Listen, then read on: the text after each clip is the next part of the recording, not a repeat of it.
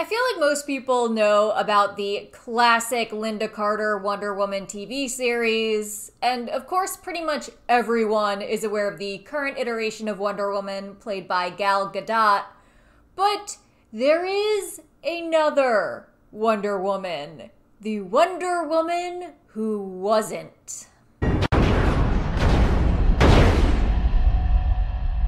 In 2011, Warner Brothers created a pilot for a Wonder Woman TV series starring Adrianne Palicki. And after NBC viewed the pilot that they had requested, they said, no thank you. Every couple years, especially with the current resurgence in popularity for Wonder Woman, someone will write an article about this failed pilot.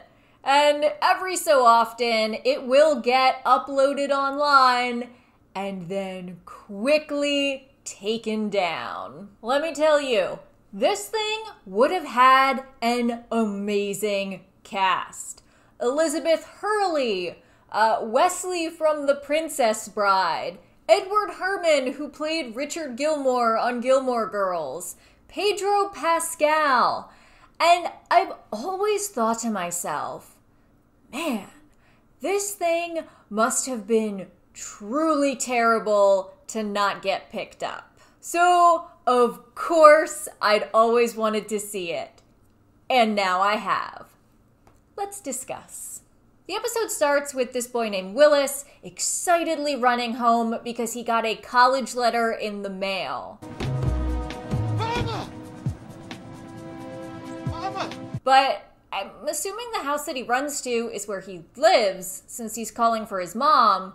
But then where did he get the letter? Why didn't it get delivered to the house where he lives? Like, where did it come from? And Willis's family is experiencing a very intense level of anxiety over this letter. Like, his mom sounds angry. Open it.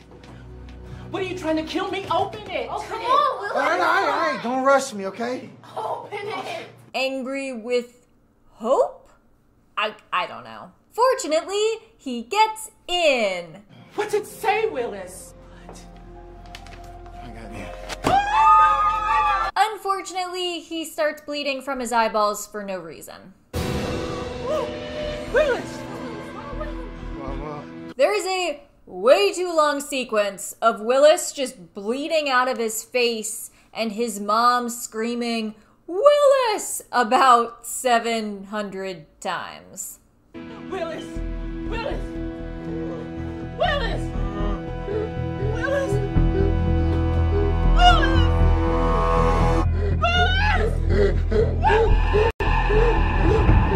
So we're off to a strong start here. The next scene brings us our first shot of the titular character, Wonder Woman herself.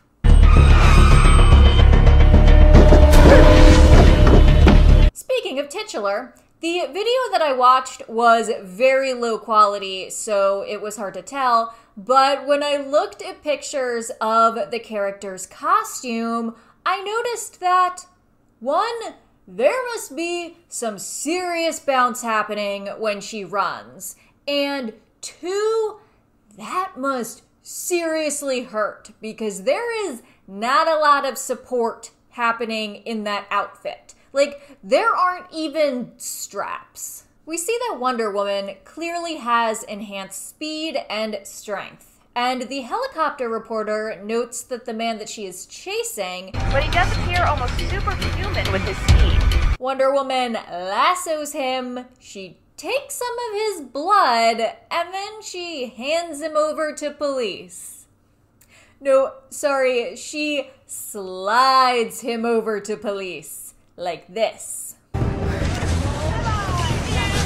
I do love the accent of the reporter covering this incident. It was fantastic, Rob. Wonder Woman just swooped in. It was fantastic, Rob. You see, this Wonder Woman is a vigilante. She's an anti hero. She doesn't need to follow the law, she plays by her own rules.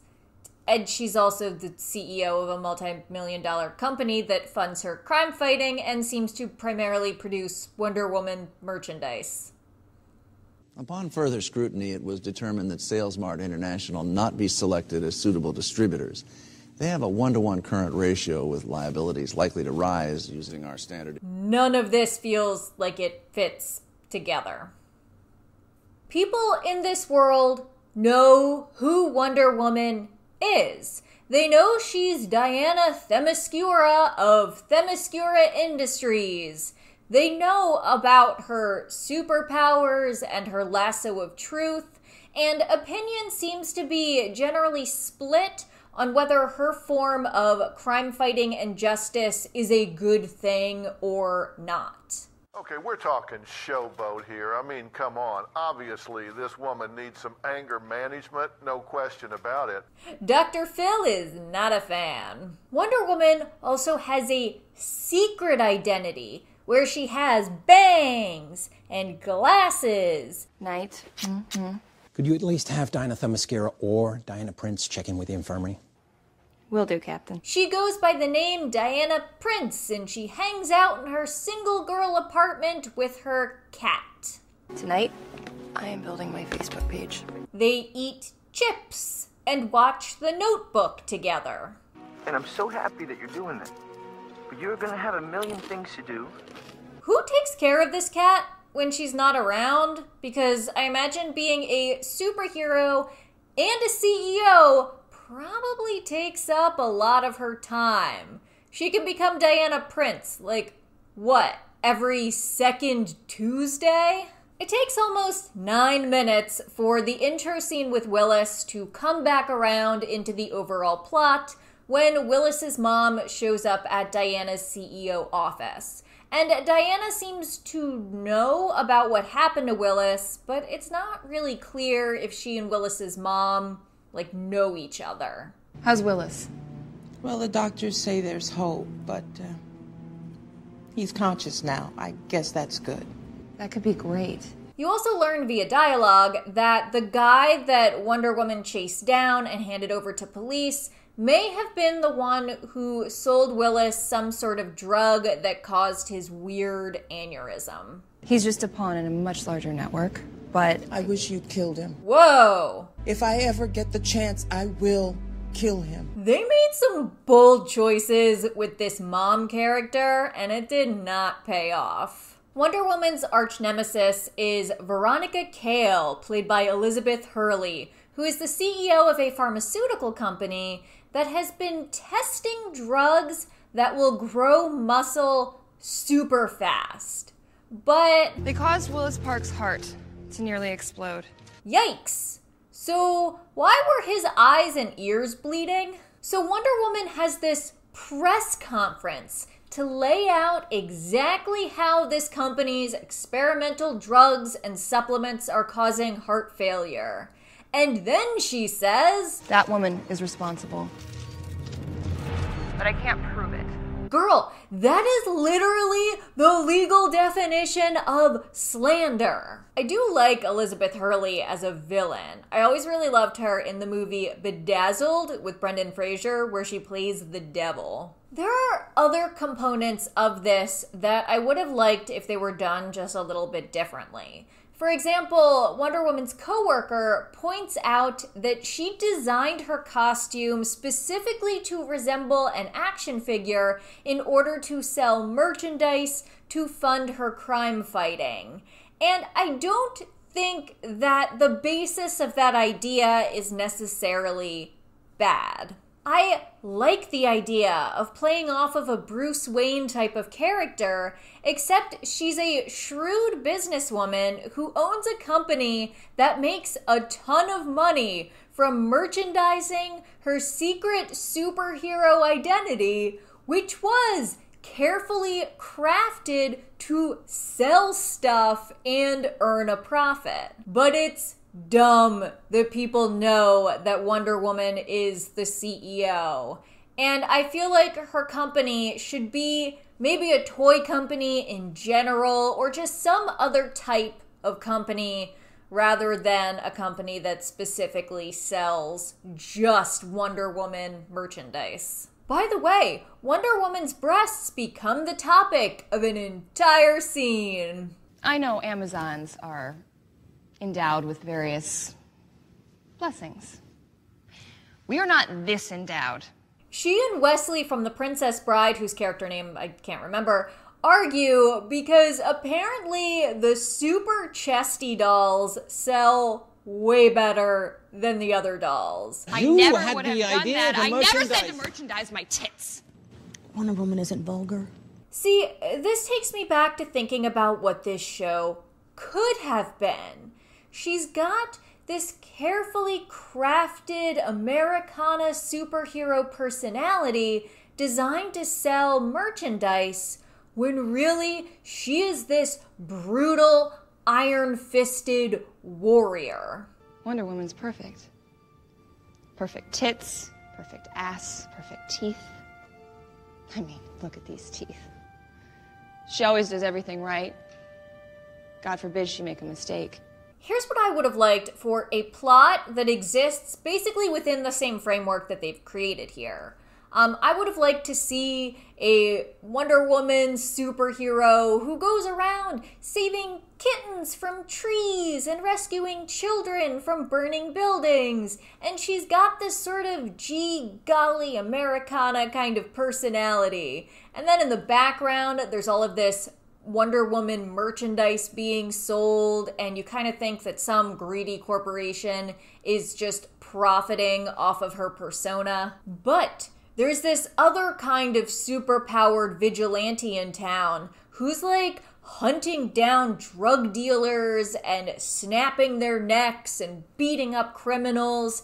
And you think that she is going to be Wonder Woman's main adversary. And then at the end of the episode, you find out that the superpowered vigilante is Wonder Woman. That this is her real self, and the red, white, and blue persona is just something that was specifically created to drive merchandising and make money. She's not the CEO of the toy company. That would be Wesley from The Princess Bride. He would sort of be like her Alfred, and they would have some sort of deal that she's basically in on. Okay, back to the episode. In the doll scene, Wonder Woman mentions that she's an Amazon. And then later in the episode, another character mentions how she's not human, but they never really detail her backstory and how she came to be here. We do see Steve Trevor in some flashbacks. I guess they were together having a relationship in New York, but she left him to move to LA and do like her whole Wonder Woman shtick. I guess she thought that having loved ones and being Wonder Woman would put them in danger. But wouldn't that be the point of her whole bangs and glasses persona? For me to have loved ones or family, you'd be targeted. My enemies, I mean, I'd be putting you at risk. So Veronica Cale comes to visit Wonder Woman, and Elizabeth Hurley is so sultry. I love it. Veronica Cale. Delighted to finally meet you in the extraordinary flesh. But Wonder Woman wants to see her secret laboratory, and when Veronica Cale asks what's in it for her, I won't kill you. two things. First, she is directly threatening this woman.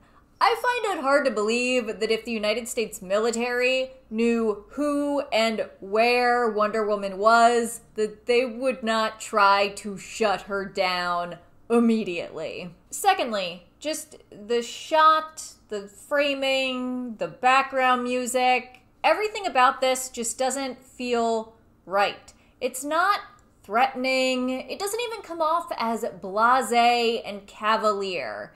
It just feels really flat. And some of that could be the acting, but I'm pretty sure it's the editing. And then you actually come here to threaten me in some way? Oh, they have way more chemistry than Wonder Woman and Steve Trevor. Like, I forgot there were other characters in that room. but the writing is just so bad. The pharmaceutical industry has Congress by the balls, and as I'm sure you can imagine, their balls come particularly easy to me. Then Wonder Woman goes to see Willis in the hospital. I'd kind of thought he was dead. And just like it wasn't clear if Wonder Woman knew Willis's mom, it's also not clear if she and Willis actually know each other. Like, he seems surprised to find Wonder Woman at his bedside. For real? It's you? How you feeling? I wish I'd broken something so you could sign my cast. But she holds his hand, which to me indicates some type of familiarity.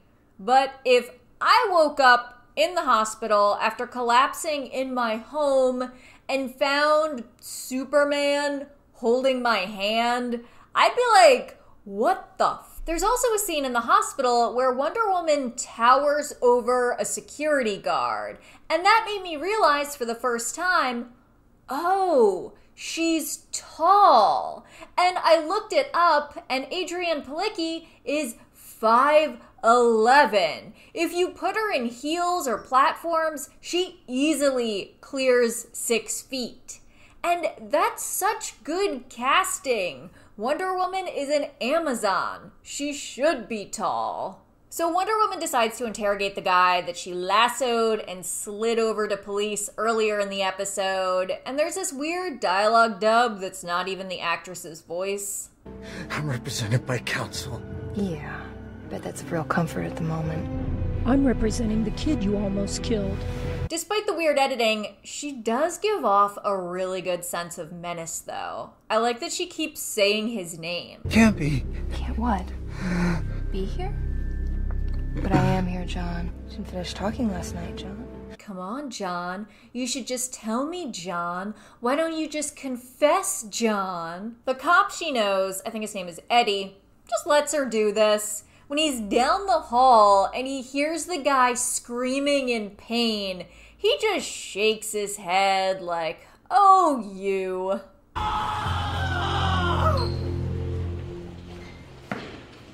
Okay. Then there's a bit of conflict because Wonder Woman gets the intel that she was looking for. The guy tells her that Elizabeth Hurley's character is creating super soldiers in a lab. And Wonder Woman, being Wonder Woman, wants to go and just bust right in.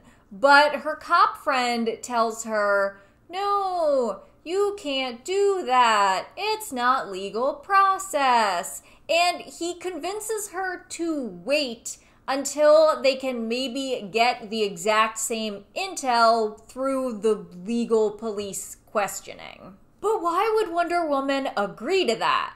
Because she's Wonder Woman.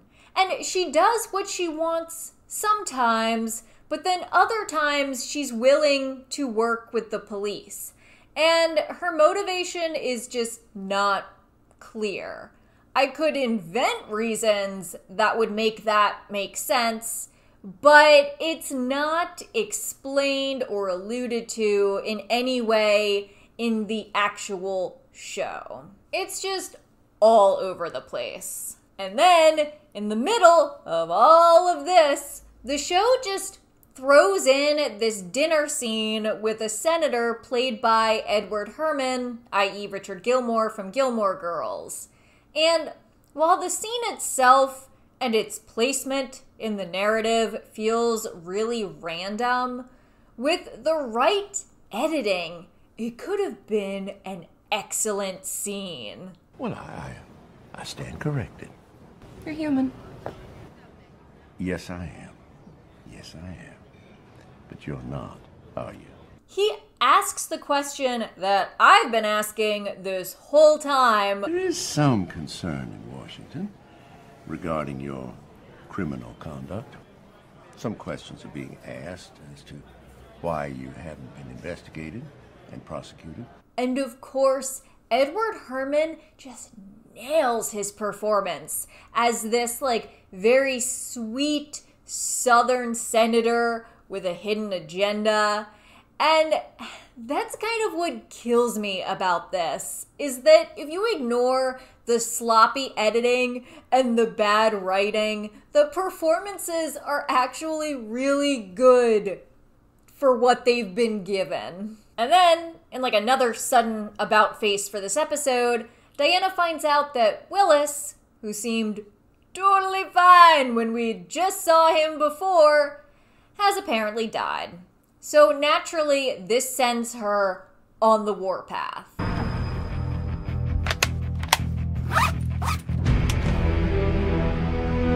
This plot is all over the place. Normally, in good stories, the characters drive the action through their decisions and choices and feelings.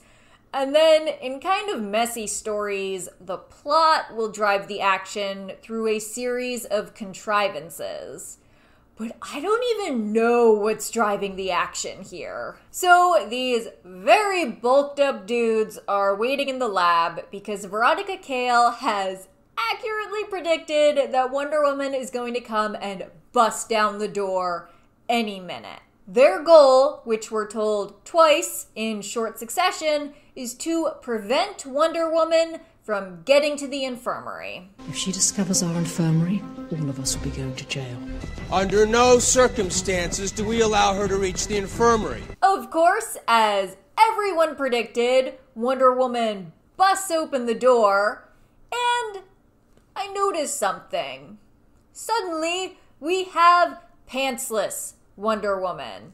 Her costume has changed. In every previous scene where we've seen her dressed as Wonder Woman, she has long pants. And now, for no reason, she has a bodice and bare legs. Why? Why? Is it so we can get this crotch shot a little later? We also learn that the bad guys can't count. It is one of you and 20 of us. Yeah, there's like 10 of them, maybe 11. You see the strings on the actors during the fight, which is just further evidence that the editing on this wasn't complete. I'm not sure if this pilot would have been the actual first episode that would have aired if NBC would have picked up the series, you know, just with the editing completed. Because it's not uncommon for shows to film a pilot episode as sort of a test or an example of what the show would be like if it were given the green light. Some people use the terms pilot and first episode interchangeably, but sometimes the pilot is not actually intended to be the first episode of a series. And it's not uncommon for shows to reshoot pilots after getting picked up sometimes because so much time has passed between filming the pilot and when filming would begin for the series that they've had to recast certain roles or change certain sets or because they have like an actual budget now. I think of Gilmore Girls when they recast both Dean and Sookie in between filming the actual pilot and when the series shooting began. So, yes, that means that Gilmore Girls also has a secret unaired pilot out there, which I have also seen. And it's basically the same as the first episode we actually got, just with, you know, some different faces. So there's a chance that certain stilted, awkward elements of this, like the weird conversation that Wonder Woman had with Veronica Cale, are the result of this episode essentially being a first draft, and they would have reshot it completely before going to air. But even if that were the case, they probably wouldn't have rewritten it. The basic premise would have remained the same. And they did put enough effort into this pilot to track down Dr. Phil and film his guest appearance. And the outfit? I mean, let's strut your stuff, I get that, but let's face it, the girl is a little nuts. Anyway, so Wonder Woman just completely kicks the asses of these 20 guys. She kills one dude, like, for sure. And then Wonder Woman kicks down a door to find Veronica Cale, who says this You are about to meet your equal, Wonder Woman the American criminal justice system. It's even better since Elizabeth Hurley is British. And then, because the show likes to confuse me by going from horrible dialogue to small character moments that I actually kind of like, Wonder Woman just rolls her eyes and proceeds to physically attack Veronica. I can't tell what the one liner is, though, that she says right here. Want to feel my muscle? Want to feel my muscle? I, I can't tell. I want it to be something that I can interpret in a dirty way to further um, my observation of the chemistry between these two characters, but I literally can't understand what she says. Wonder Woman knocks Veronica unconscious, although it's not really clear how, and then she goes into the infirmary, which turns out to just be full of sad, lumpy guys. I'm one of the good guys, and um, we're gonna take care of you. The cops also show up since Wonder Woman attacking made this a crime scene so they can enter without a warrant, which is kind of smart. Veronica Cale is arrested, which narratively doesn't make sense if you're trying to set up conflict for an entire season because now your arch nemesis is locked away. It would have been more interesting if Wonder Woman got to the infirmary and found it empty, and then Veronica Cale walked free. Also, if her drug is designed to create super soldiers in a lab, why was it being sold as a recreational drug on the street for Willis to buy that caused him to bleed from the eyeballs? Wonder Woman returns to her office victorious, and everyone claps. Literally.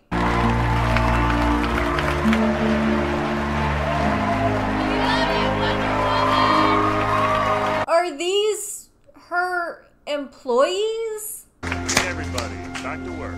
I guess they are. And I guess they're working at nighttime. Then a lawyer from the Justice Department arrives, which had been a threat that the senator had lobbed at her earlier over dinner. And Wonder Woman decides that she is going to greet this lawyer in a red satin robe. That's how I conduct all of my lawyer meetings. I'm just like, I want to be comfortable. And they're all like, ma'am, we're just trying to figure out how you want to distribute your assets if you die. And then the lawyer turns out to be Steve Trevor. Whoa! There's literally no reason for this. Anyway, Steve Trevor tells her, Don't worry, I've got your back. Everything will be fine in my official report. But wouldn't people know that he and Diana used to be in a relationship? And that there might be some sort of conflict of interest here? And we find out that Steve actually moved to LA six months ago and didn't tell Diana. He's also married now. He fidgets in a really obvious way with his wedding ring to draw attention to it.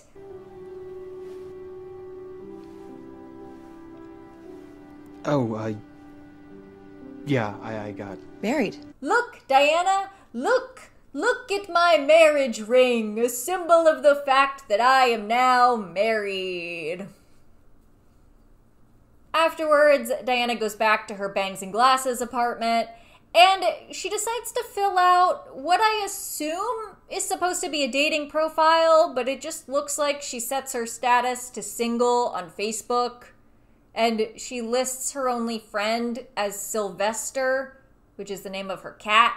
But she is a very beautiful woman in a major city. I don't see why she would have trouble finding dates or finding friends if she actually wanted to. Like, if she actually had the time to do that.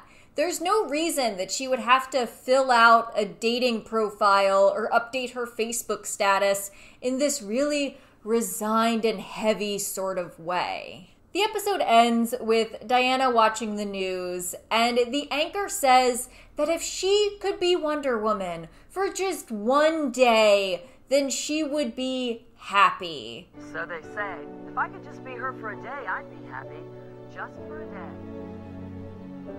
But we, the audience, see Wonder Woman herself sitting there, clearly unhappy. So I see what they were going for here. They missed the mark entirely, but I kind of see what they wanted to do. Adrianne Palicki could have been a great Wonder Woman, physically fitting the role, but also thematically different from the adaptations that we've seen before. And Elizabeth Hurley was just so magnetic that you were almost able to forget that the dialogue that she was saying was just so very stupid. The rest of the supporting cast also did the absolute best that they could with what little they had to work with. Unfortunately, all of the foundational and story elements were just so poorly thought out.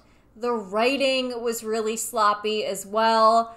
Even if they had reshot the pilot to smooth out all of the rough edges, I can't imagine what an entire season of this show would have even been like. Some things are just better left unfinished.